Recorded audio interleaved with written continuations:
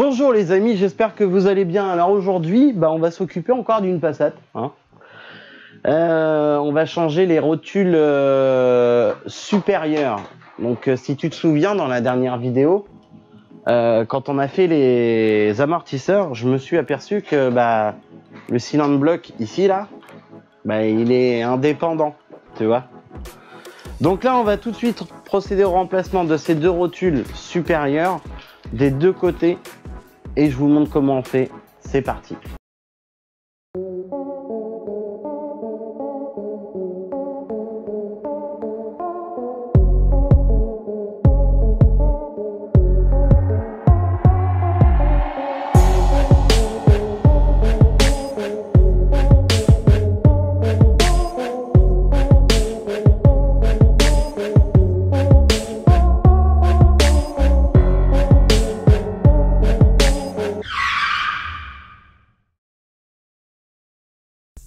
Alors, donc, pour les rotules, donc ceux que je change, tu vois, c'est ces deux-là.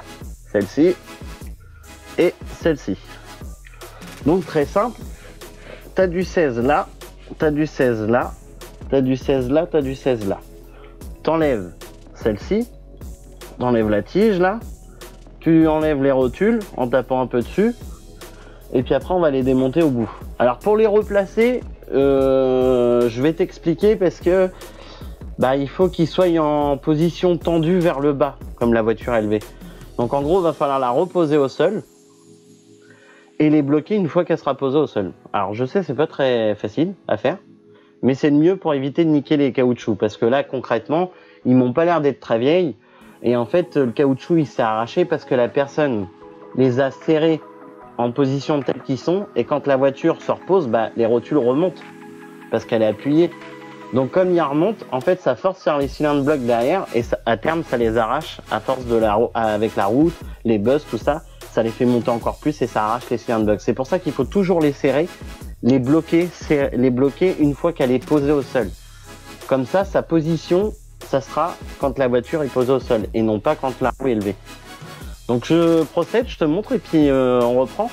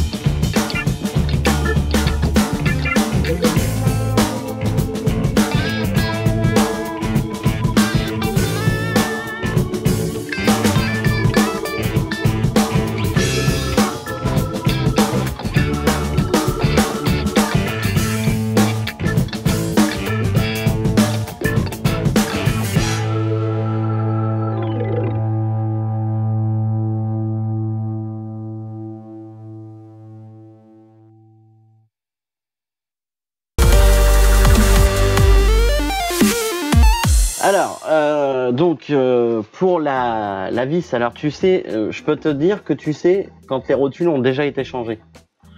Parce que tu vois, d'origine, la vis, elle est placée dans ce sens-là. Tac. Donc pour la ressortir, en fait, tu peux pas parce que ça tape là.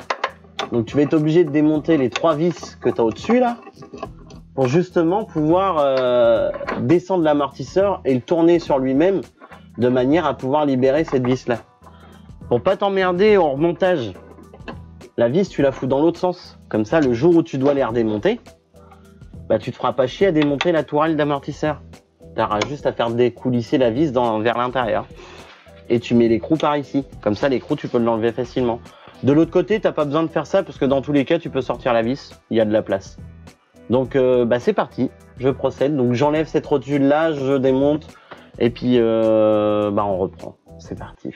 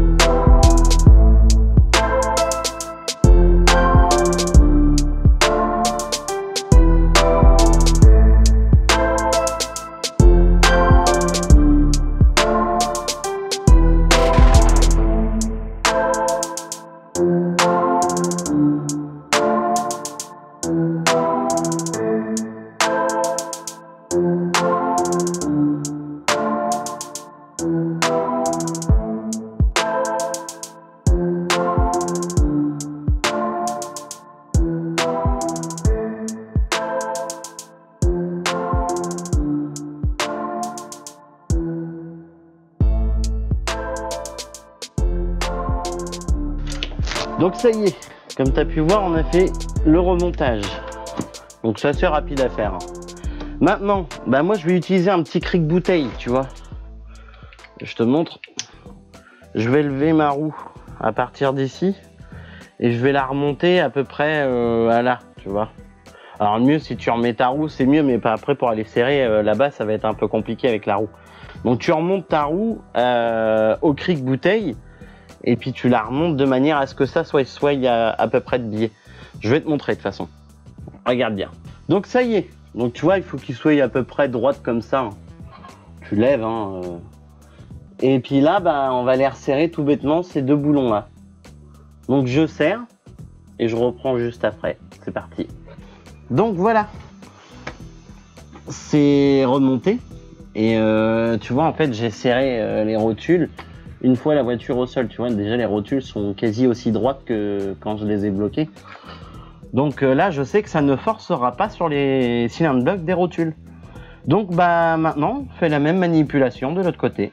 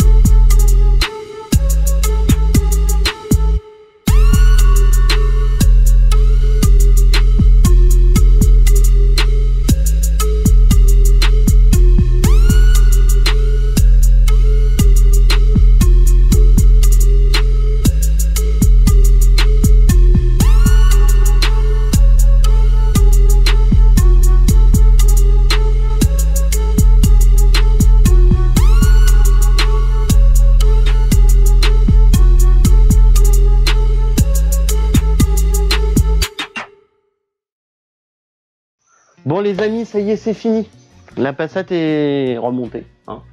Je t'ai pas euh, mis euh, le remontage complet euh, côté chauffeur.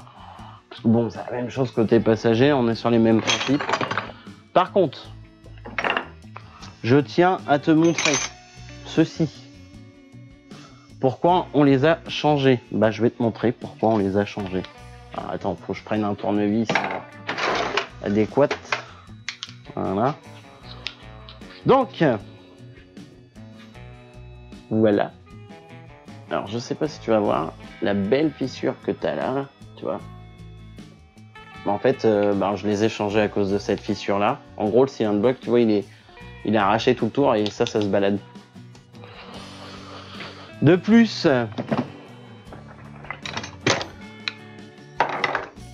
celle-là, bon, bah, celle-là, elle est pareille. Hein. Elle est fissurée juste en haut, là. Les rotules, là, bah, ils sont mortes. Donc, euh, bah voilà pourquoi on les a changés. Pourquoi euh, Parce que ça claquait, hein, principalement. Donc, euh, bah, si toi, aussi, si toi aussi ça claque comme ça quand tu roules, bah c'est très certainement ces rotules là qui seront à changer. Je te mets ici la vidéo quand on a fait les amortisseurs de la Passage. Je te la mets ici. Euh, tu vas faire un tour comme ça, tu vas voir un petit peu pourquoi on s'est aperçu, comment on s'en est aperçu. Hein. Euh, de plus, je tiens à vous montrer que l'on m'a offrandé un beau compresse ressort sur trépied comme ça, tu vois. Que tu vois, euh, on est en train de monter, hein, parce qu'il est, il est pas monté. Parce que euh, dans la vidéo que je t'expliquais, euh, bah, j'ai failli me prendre le compresse ressort dans la gueule. Donc te dire que c'était euh, un petit peu dangereux. Donc dans le coup, il y a eu de l'investissement. Voilà. De plus, bah, je te remets les réseaux sociaux juste en bas. Hein. Tu n'oublies pas si tu as aimé cette vidéo, et j'espère que tu as aimé cette vidéo quand même, parce que je me tue à la tâche. Tu n'oublies pas les pouces bleus, tu en mets plein. Tu t'abonnes, tu partages. Sur ce, les amis, je vous dis à la prochaine. Bonjour.